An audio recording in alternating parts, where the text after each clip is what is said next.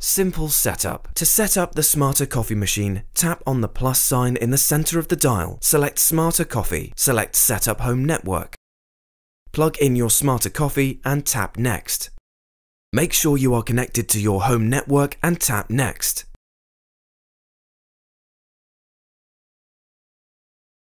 Go into your phone Wi-Fi settings and select the Smarter Coffee network.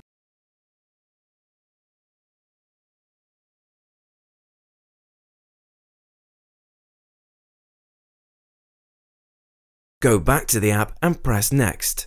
Wait for the Wi-Fi symbol to appear. After it has appeared, tap Next.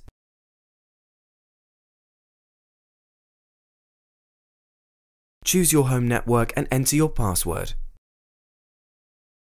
The app will now connect to your coffee machine. Once you see the control panel, it means you have connected and you can start brewing.